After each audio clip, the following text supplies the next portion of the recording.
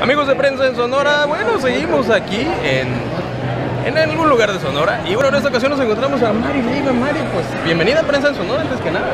Muchas gracias. Yo creo, Charlie, que esta es la segunda vez que nos toca encontrarnos así entre cámaras y micrófonos. Me da mucho gusto saludarte y saludos para todos los de prensa en Sonora. ¿Después de cuánto tiempo? ¿Cinco o seis años aproximadamente? Como cuatro. Cuatro, cuatro años. Muy bien, después de alguna entrevista que fíjate, ah, cómo causó sensación esa entrevista, ¿eh? Así es, sin duda, y, y- pero este, sí, hacen dado varias cosas, varios cambios después todavía de esa entrevista en la que precisamente nos preguntaba sobre un cambio, este, un giro que le habíamos dado a nuestra carrera, eh, hablando específicamente de la televisión, y pues ahora también eh, este, incursionando y, y como- bueno, no incursionando, ¿no? Pues es bien sabido por muchos que, bueno, tengo un papá que ha estado toda su vida este, sumergido en la política y yo siempre ahí a un ladito, atrásito y escuchando y aprendiendo de él donde podemos y ahorita pues aquí acompañando al diputado Abel Murrieta en su segundo informe. Se puede decir que naciste aquí en la política prácticamente, ¿no? No te has desconocido del todo. Y bueno, platícanos ahora sí que proyectos personales que estén por venir y bueno, un poquito más detallado de lo que estás haciendo en este momento.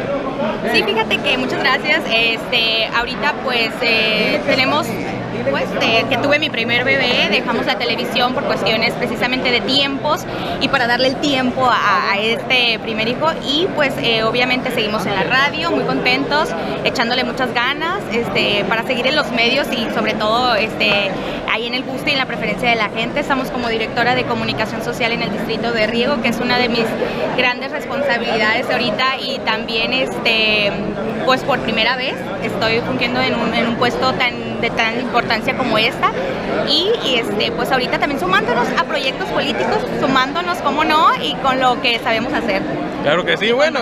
Y, bueno, en aquella ocasión estabas por iniciar un proyecto, hoy pues ya estás en otro. Esperemos que ahora sí que las buenas nuevas continúen. Así es. Y tanto para ti como para nuestro servidor. Claro. y sobre lo que nos quieres comentar también ya para despedirnos.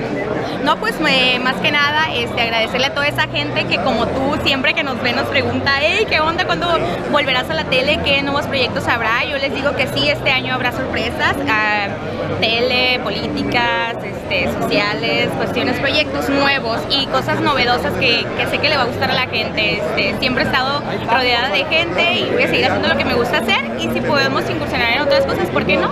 Es, suene algo eh, interesante mientras sea todo estar con la gente así, contacto como siempre me ha gustado a mí, ya, te- sabes, lo hemos platicado, que es lo que uno disfruta, estar rodeada de gente y poder hacer o servir, mejor dicho.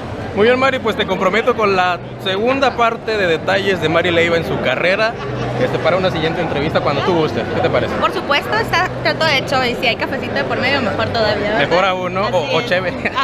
Bueno, este, dependiendo, ¿verdad? Si es entre semana, cafecito y si es fin de semana, pues ya nos acomodamos. Muy bien, Mari, pues te agradecemos esta entrevista. Y Nos Gracias. vemos en la próxima gente de prensa en Sonora. Recuerden, seguidores de Mari Leiva. Por cierto, tu Facebook para que te sigan o tus redes Mi sociales. fanpage, así es, Marileiva, me encuentran en el Twitter, arroba marileiva-7 también, ahí pueden. Muy bien, pues ahí estamos. Recuerden, nos vemos en una próxima entrevista aquí en Prensa en Sonora.